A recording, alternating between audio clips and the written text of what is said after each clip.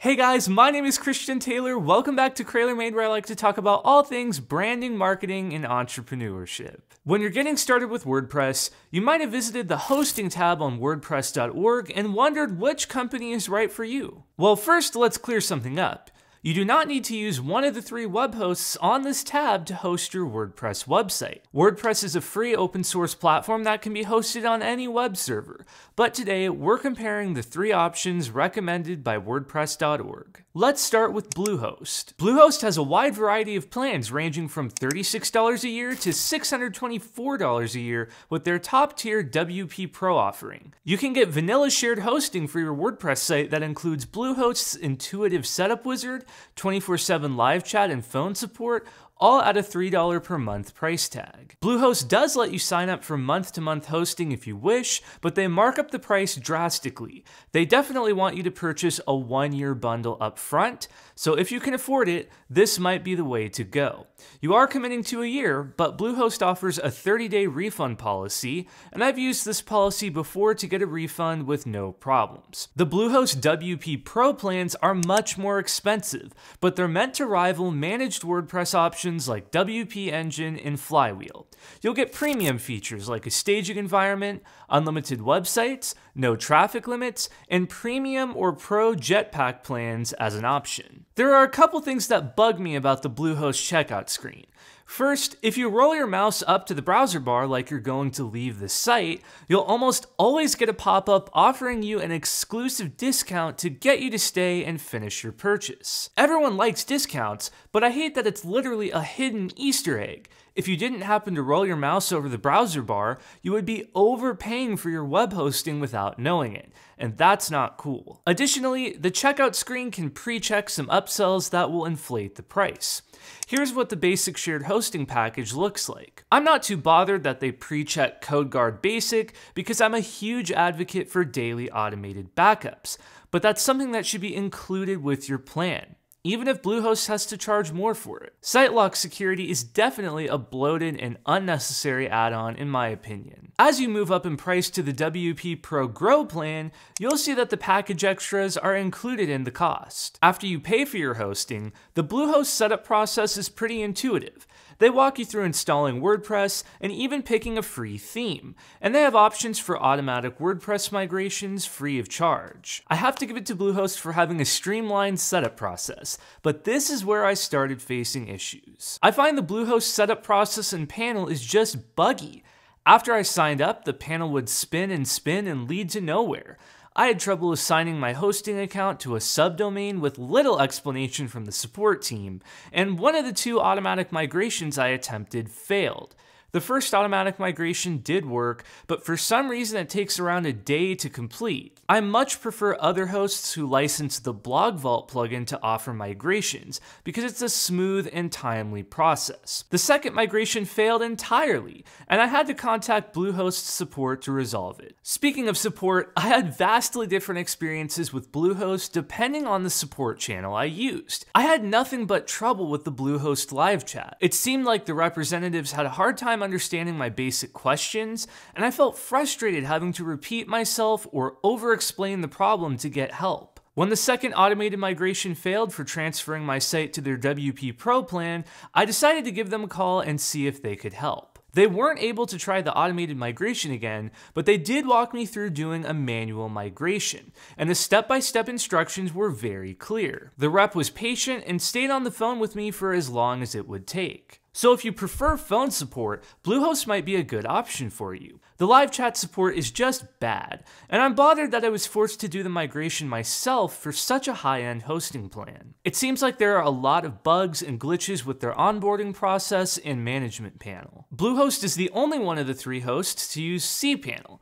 The main management panel is proprietary, but if you click Advanced, it takes you to a standard cPanel interface where you can perform additional tasks. So if it's a requirement that you be with a cPanel host for whatever reason, Bluehost is the way to go. I didn't have any reliability or speed issues with Bluehost, and the uptime was 99.97% over a one month period.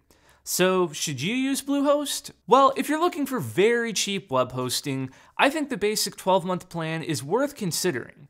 For $36 a year, you get one website, 50 gigs of SSD storage, and 24 7 phone and chat support.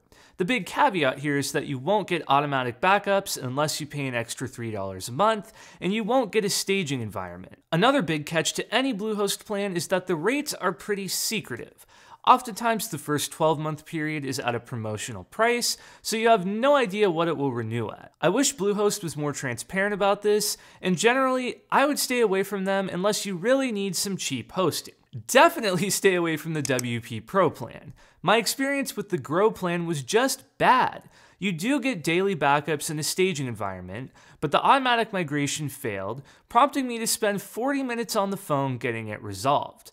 Quite frankly, that's just not acceptable for hosting of this price point. The staging environment was also the worst I've experienced, requiring you to install a WordPress plugin to use it. Since I migrated my site instead of starting fresh, this plugin wasn't installed on my site, and I had to again contact their support and get it installed. But wait, there's more. The plugin said beta on it. This was the same case with their automatic migration tool.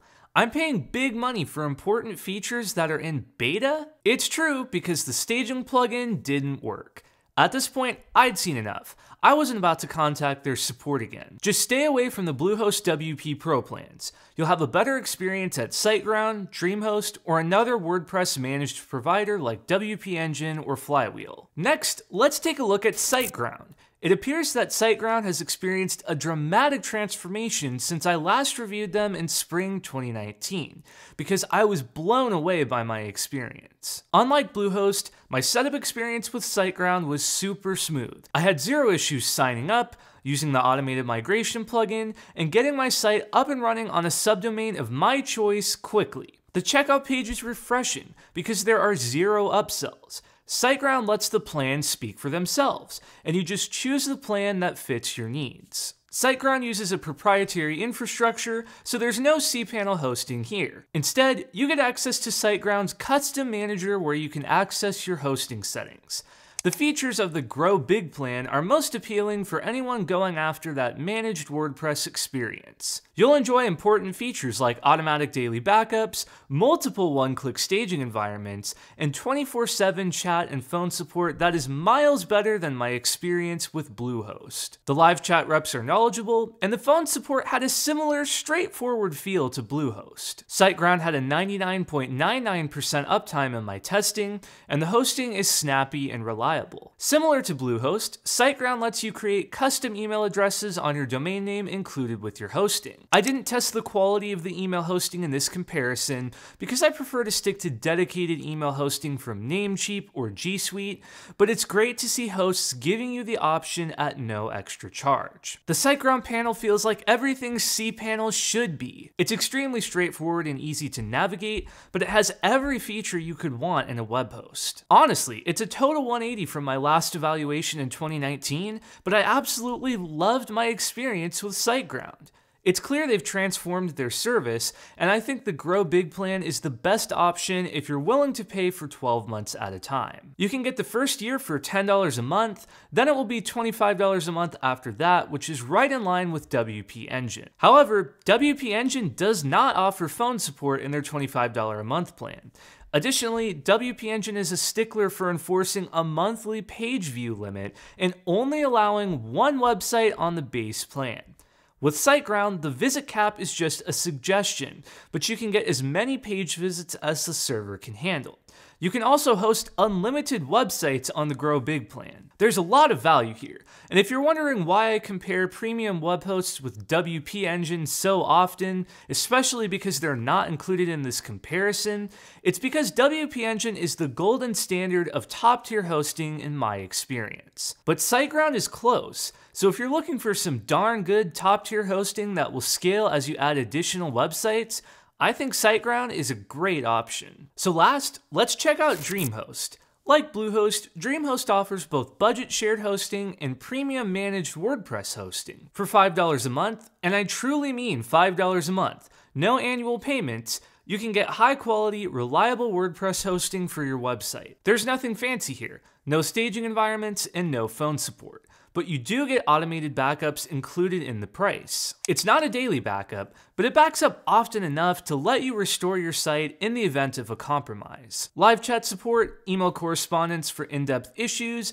free SSL certificates, and 50 gigabytes of storage are also included. DreamHost does offer phone support, but it will cost you $10 for a callback on the basic shared hosting plan. There are managed WordPress hosting plans that include 3 to 5 callbacks per month. I didn't test the phone support as none of my plans included it, but I found the chat and email support was perfectly sufficient to help me with any issues I ran into. When it comes to the panel, DreamHost is slightly less intuitive than SiteGround. They have come a long way, and under their new Websites tab, which is currently in beta, we get that managed WordPress feel even with the shared hosting, which is pretty cool. You can manage your FTP, MySQL, restore backups, change the PHP version. It's not quite up to the level of full managed WordPress, like their DreamPress offering is, but it is pretty intuitive. Now, my gripe with the DreamHost panel is that things are just hard to find and there's a lot of redundancy. So, like, you have to know that you find this view under domains and websites. Why is it under domains and not WordPress? I'm not sure. Uh, the DreamPress UI is under WordPress, and then we have a separate FTP section. And overall, I feel it's a little bit cluttered and a little bit confusing. Here's where I'd put DreamHost for their $5 per month shared package. It's rock solid reliable with great customer support, but you need to be a more tech savvy user to navigate the panel. It's not rocket science, but it just doesn't feel the most intuitive. I'd say you're getting the hosting quality of SiteGround, but you're not getting as polished of an experience. I think this is fair because the DreamHost shared hosting plan is an amazing value. Who can argue with $5 a month? No paying annual, no contracts. Also, again, unlike Bluehost, you're getting automated backups here, and you're getting really high quality live chat and email support. DreamPress is where things get more exciting.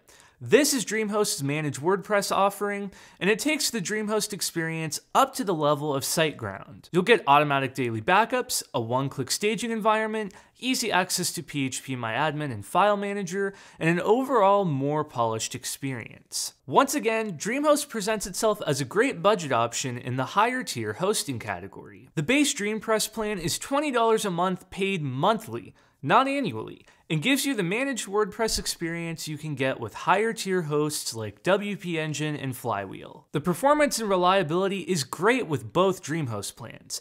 I experienced a perfect 100% uptime with the shared WordPress hosting and a 99.99% uptime with the DreamPress plan. So in conclusion, I generally recommend staying away from Bluehost unless you want to bargain with the cheapest plan at $36 a year or you feel that phone support is really important to you. SiteGround is hands down the best web hosts out of the three, but they're also the most expensive. Their simple approach to pricing and premium experience is something you're sure to enjoy. And if you're looking for some middle ground, DreamHost is phenomenal.